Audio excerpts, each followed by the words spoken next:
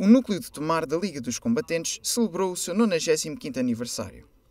A presidente da Câmara Municipal de Tomar, Anabela Freitas, participou na cerimónia comemorativa do 95º aniversário do núcleo de Tomar da Liga dos Combatentes, que decorreu ontem na Várzea Grande, na presença de entidades militares e civis, combatentes, suas famílias e convidados. Uma solenidade simples que começou com a homenagem a vários militares sintetizam a vida do núcleo e os objetivos estatutários. A cerimónia ficou marcada pela inauguração do memorial aos combatentes na Guerra do Ultramar e militares tomarenses que faleceram ao serviço da pátria.